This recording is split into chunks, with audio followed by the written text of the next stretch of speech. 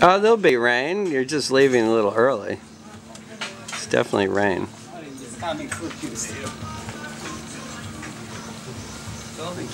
you,